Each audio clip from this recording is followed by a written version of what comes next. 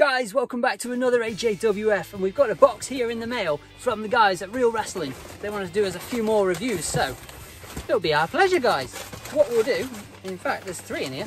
Uh, there's two elites, which are Greatest Hits elites. It is The Undertaker and Batista, or Blue Tista as he's known with this attire. So yeah, on their channel, on this channel, we're going to get these open. So I'm not a massive Undertaker fan, guys, but we'll have a look at that. Ty Mellows fell over, look. The Undertaker's put a curse on her. But yeah, we'll going to get into these. Which one should we look at now? Hmm. Maybe...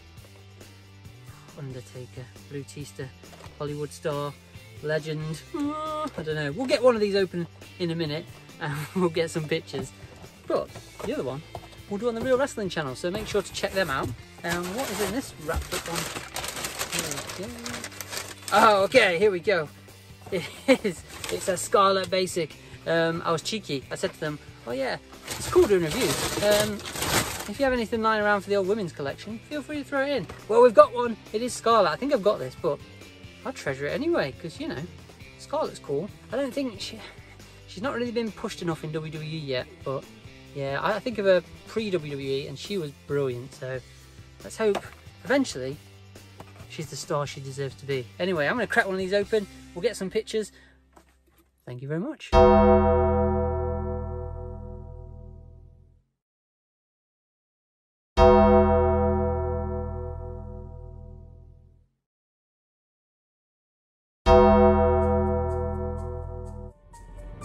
So we've chosen for the Real Rasslin YouTube channel, The Undertaker, to give a quick unboxing. And I know you guys, well, some of you, like the boxes. So here we are, giving it a spin. You can enjoy the packaging. Back in a minute.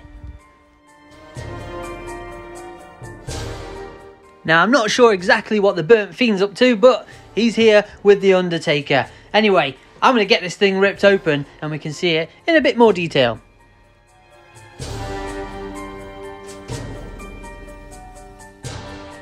Okay, so The Undertaker is released from the plastic cell. Let's give him a 360. It is typical Undertaker attire, so there's not a lot to it. It's black and red themed. Now it's got the Taker logo on the legs. It's also got the Taker logo on the chest piece. And this figure does come with the uh, Tag Team Championship as well as interchangeable hands. Now the face scan on this one, uh, I hate to admit it, but I do kind of like it. The old goatee beard of The Undertaker. The tattoos, the detail is there.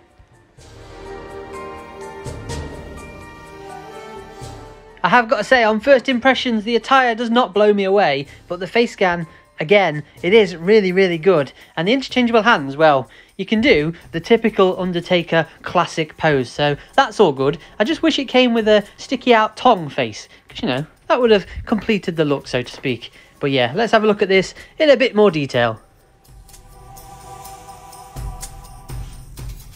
Now this figure is a WWE Elite Greatest Hits series and The Undertaker. And I think this is, whoa, I'm not the big Undertaker fan, but is it 1999-ish? And it does come with the Tag Team Championships, which he held, as well as the interchangeable hands, as mentioned.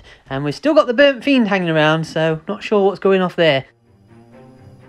Let me grab some shots of this Undertaker figure from all angles, just so you can see if it's worth adding to your collection or not.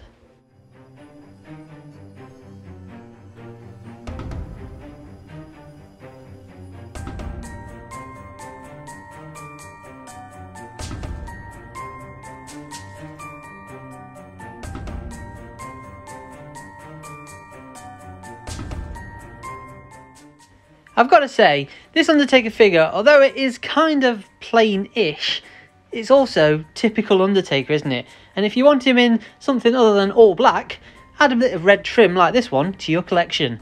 Now, the chest piece, I feel like it could stand out a bit more. You really don't notice the Taker symbol unless the light hits it. The face scan though, that is the saving grace. For me, it really looks like The Undertaker, which it should do, and yeah, I can't fault this one.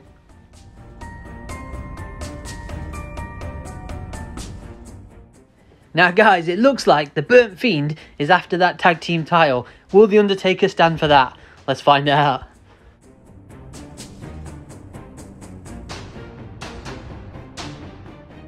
Can you believe a tombstone on the Fiend?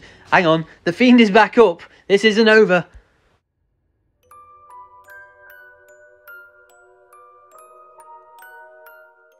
You've got to love a bit of a fig fight, right? All over that tag team title. And let me grab a close up of that tag team title because it's typical elite style, but yeah, it's a good one to add to your collection. Guys, I'm back. Thank you so much, the Real Rasslin guys. I can't thank them enough for sending them over for us to do a review. Till next time, keep on collecting and peace out.